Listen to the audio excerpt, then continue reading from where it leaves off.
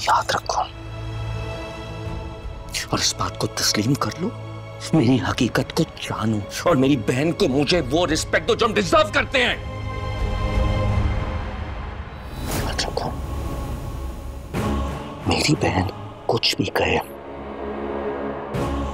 तुमने सिर्फ़ चुप करके मुस्कुराना है। समझे? मुस्कुराओ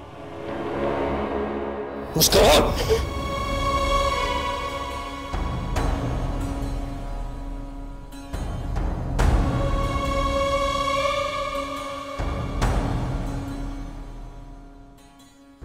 आइंदा मुझे शिकायत का मौका ना देना।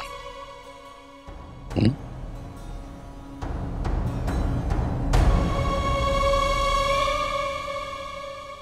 हसरतें जो मिट जाती है लुटता है फिर। वो सिर्फ़ गुस्से का तेज नहीं बल्कि गुस्से का मरीज़ है।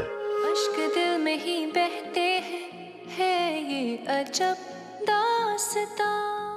ठीक है आप बाकी खूबियाँ भी देखें लेकिन सबसे ज़्यादा इंपॉर्टेंट चीज़ तो पैसा है ना।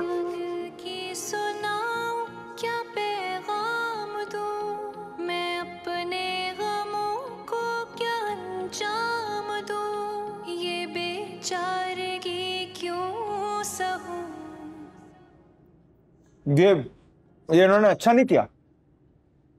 मैं इनसे बात करूँगा इतनी प्यारी आँखों में आँसू आए इनकी वजह से ये बात इधर खत्म नहीं हुई। हम्म।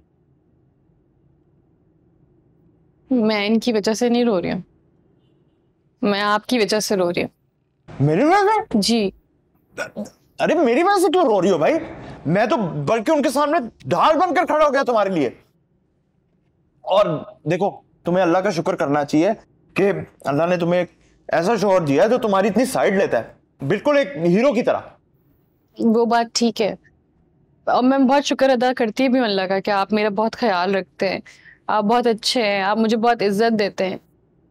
लेकिन सच बताओ ना अमाद तो जब ये सब घर वाले आपकी बेइज्जती करते हैं ना मुझे बिल्कुल भी अच्छा नहीं लगता। ये बचपन से चलता आ रहा है मेरे साथ। इसमें कोई नई बात नहीं और ना ये बदलेंगे। और वैसे एक बात बता दूँ। बेइज्जती? और गर्मी। ये दो ऐसी चीज़ें हैं। ये जितनी ज़्यादा महसूस करोगी उतनी ज़्यादा लगेगी।